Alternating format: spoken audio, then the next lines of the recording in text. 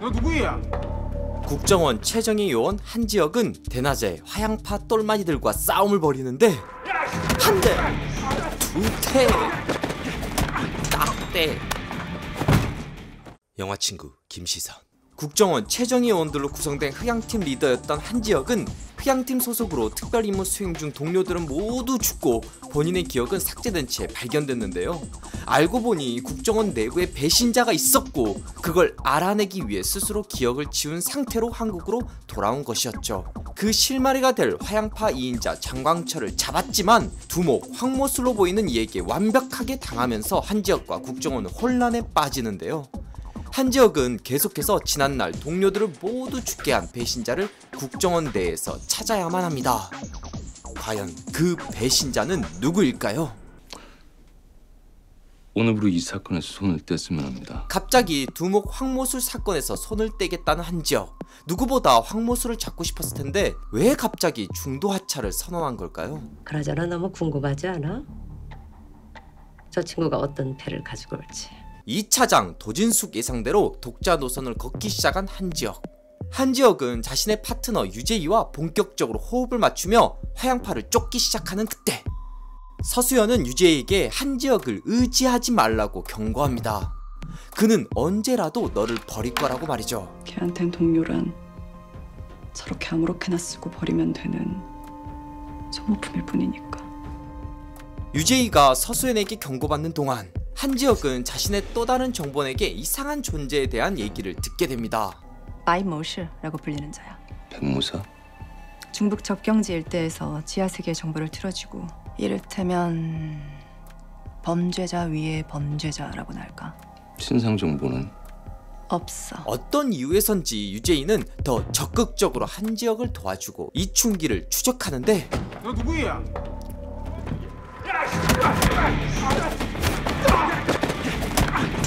오래전 자신에게 정보를 제공해 주던 화양파 조직원 이충기를 잡는 데 성공합니다. 두목 황모술이 경찰서에서 탈출할 때도 이충길이 있었죠. 이충길을 털면 뭐라도 나올 겁니다. 일단 이충길을 통해 자신의 기억을 되살리는 지역. 내가 직접 정보를 전해줬지요. 기억 아이 나. 1년 전 그날 밤 지역을 찾아온 사람은 바로 춘길이었는데 지금부터 누구도 믿어서는 안 돼요. 국정원 내부에 누군가가 정보를 흘린 건지 화양파 조직원들이 흑양팀을 덮치기 직전이었죠. 미안하고. 이제 좀 뭔가 더 물어보려고 했는데 뭔가를 흘리고 도망친 이춘길. 이게 뭘까요? 알고 보니 화양파는 하양 과자를 한국에 들여오고 그걸 나눠서 전국에 택배를 보내고 있었던 건데 이춘길 말에 의하면 한국 전체를 뒤흔들 정도의 물량이 들어오려고 하고 있었죠. 하지만 그걸 알아내기 위해선 더 적극적인 방법이 필요했습니다. 그런데 호랑이 굴에 들어갔다가 정말 호랑이에게 잡혀버린 한지혁. 내 아들 말이야! 그 뒤통수가 너덜너덜한 채로 돌아왔는데 열흘 넘도록 장례를 안 치렀다. 아하, 황모술이 이토록 한지혁을 잡고 싶어 안달이 난 이유가 있었네요. 1년 전 임무 수행 중 한지혁이 죽인 하양파 조직원 중 하나가 바로 황모술의 아들이었습니다. 어쩐지.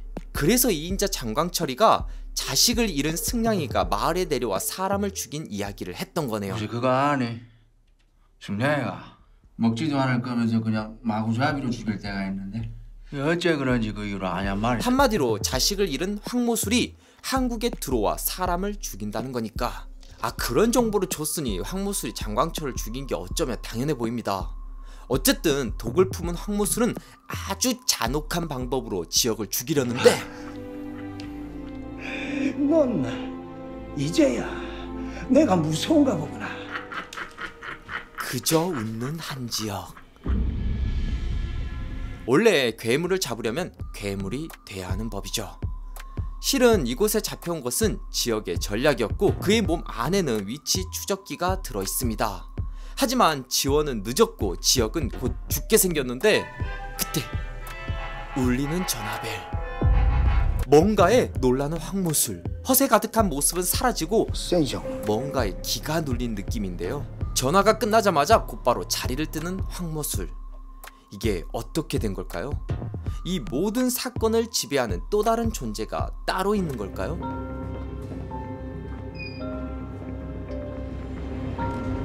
조직을 배신한 대가로 죽어가는 이춘길은 한지혁에게 누구도 믿어서는 안 된다며 당부를 하며 죽어갑니다.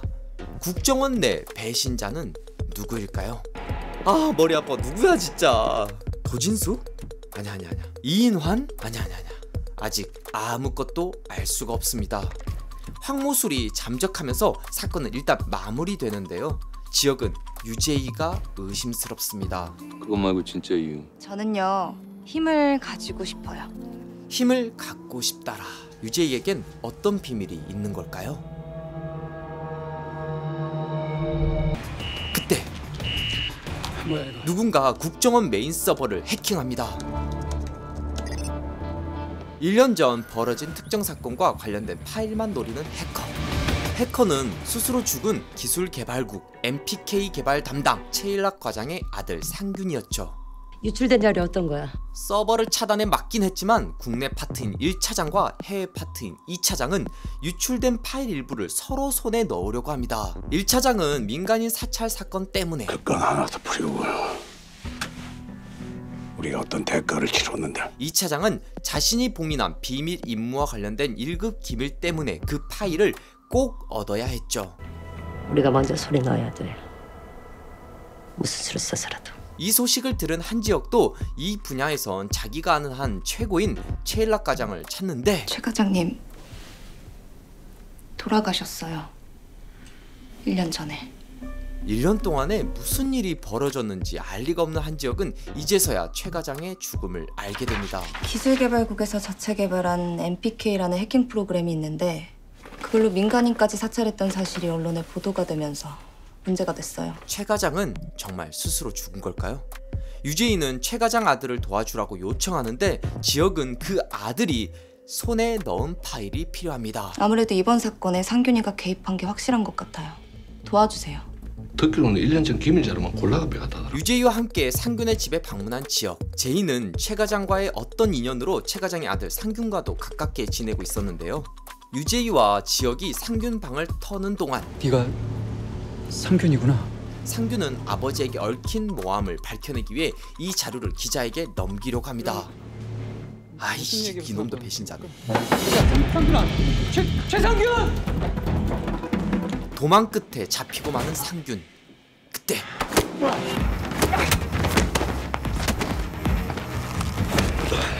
국내 파트 1차장 지시로 움직이는 요원들이 백화점 안으로 들어오기 시작하는데 그 중요한 순간 상균은 지역을 알고 있습니다. 한지혁 맞죠? 날 알아? 이게 또 어떻게 된 거죠? 내 이름 어떻게 알고 있어? 우리 아빠 지켜주겠다고 약속했으면서. 갑자기 떠오른 기억에 두통이 심하게 온 지역. 그 사이 상규는 도망칩니다. 또 사팀장 서수연에게 혼이 나는 지역. 네가 뭔데 끼어들어서 일을 망치는 거냐고. 그때 상균으로 보이는 채팅이 옵니다. 지역과 만나길 원하는 상균. 사팀장 수연의 지시 아래 상균과 제이는 철도역에서 상균을 기다리는데 과연 나타날까요? 분명히 나타날 거야. 그 친구도 답이 절실한 상황 같으니까. 상균이 가진 파일을 누가 얻는가에 따라 이 판은 아주 크게 흔들릴 겁니다. 상균의 암호를 알아차린 지역은 순식간에 뛰어가는데 재빠르게 철도역을 빠져나와 지하철을 타는 지역. 여기서 다시 보내. 상균은 오래전 자신의 아버지가 지역에게 급한 연락을 받은 일을 이야기해 주는데 누가 단둥에서 국정원 쪽으로 비상 연락을 보냈을 거라고. 그 연락을 최종적으로 받은 게 누군지 알려달라고 했어요. 누구였어 그게? 이는 죽어가는 이춘길도 지역에게 말했던 정보입니다. 분명 국정원에 연락을 했는데 한지역에게 전달되지 않은 채 다른 누군가가 나타나 그를 죽이려고 했다는 거죠. 상균과 이춘길의 말로 추측해 보면 그 연락을 받은 게 국정원 내 배신자일 가능성이 매우 높은 거죠. 그게 누굴까요? 그걸 아는 유일한 사람이 바로 지역이 연락한 상균의 아버지였는데 언론에 따르면 그는 이미 스스로 죽어버렸죠. 아빠가 돌아가셨으니까요. 그때 자신의 아버지와 지역이 서로 주고받은 메시지를 공유해주는 상균. 아빠랑 그쪽이 메신저로 주고받은 마지막 단어예요. 이거 뭐죠? 네이버에 검색해봤습니다. 역시 검색은 세계인이 쓰는 구글이죠. 와 없네. 이게 무슨 뜻일까요? 아 알았습니다. 아 이거네 이거. 이걸 한글 키보드로 치면 답이 나올 것 같아요. 아, 아씨 아니네. 그때 들리는 수연의 목소리. 자수해. 그러기만 하면 내가 책임지고 정상 참작 되도록 해줄 테니. 결국 수연의 말을 듣고 지하철에서 나온 상규는 그 자리에서 긴급 체포됩니다. 승기를 잡은 1차장 이인화는 재빠르게 노트북을 회수해 파일을 얻으려고 합니다. 노트북에 있는 자료부터 확보해. 해야 받을 줄보다 먼저. 무슨 수를 써도 좋으니까 뚫고 들어가라고! 빡친 2차장 도진숙. 아 이거 국정원 내부 상황도 아주 심각하게 돌아가는데 과연 이 파일엔 무슨 내용이 들어있을까요? 그때 갑자기 최일락 과장의 아들 상균에게서 빼앗은 노트북을 털려다가 국정원 서버가 털리기 시작합니다. 뭐 뭐야? 마치 이 모든 게 계획대로 움직였다는 듯 국정원 요원을 놀려먹는 상균. 상균에게 완벽하게 당하는 국정원. 다른 사람을 불러주세요. 더 높은 사람으로. 결국 돌고 돌아 다시 마주하게 된 지역과 상균. 상균은 아버지 죽음 뒤에 숨겨진 비밀을 알아내야 했고, 지역은 상균의 아버지 죽음 뒤에 숨은 배신자를 잡아야 했는데, 내가 최 과장님한테 찾아달라고 부탁했던 사람이 바로 그 배신자야. 그렇다면 최 과장과 마지막으로 주고받았던 네이버나 구글 검색으로도 나오지 않았던 그 단어의 뜻은 뭘까요? 공동의적. 오래전 함께 작전을 수행했다가 정본에게서 들은 단어였죠.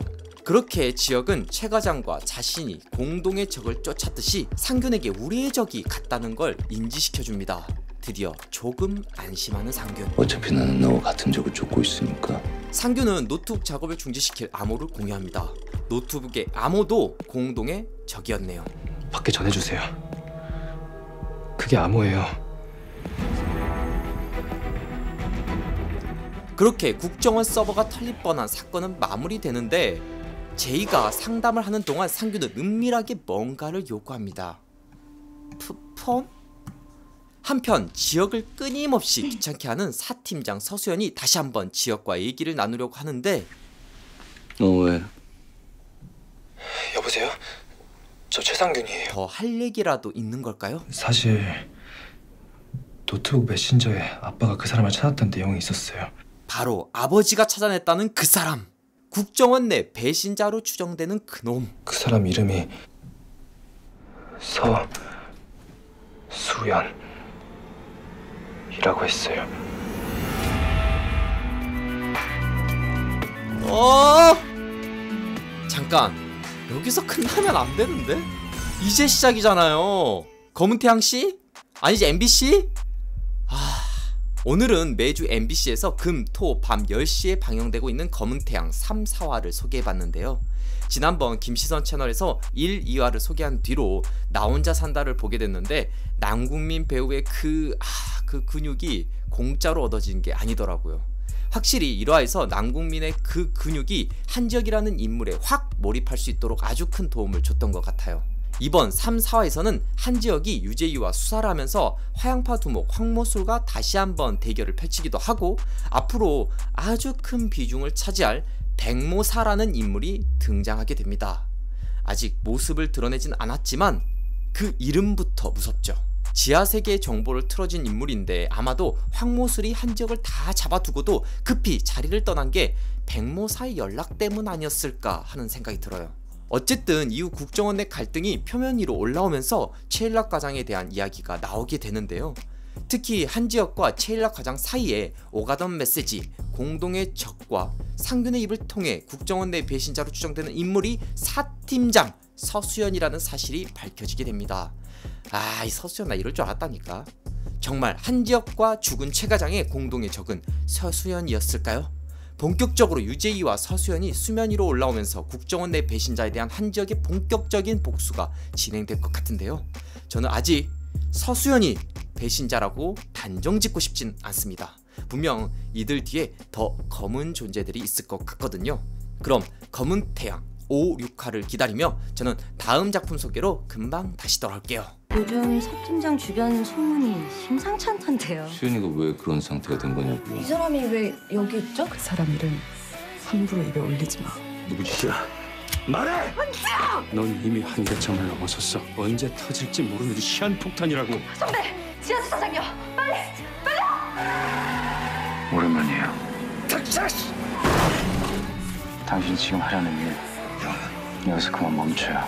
그들은 네가 안다고 해서 찾을 수 있는 그런 상대가 아니야. 그 말을 전하라고 한 게 누구야?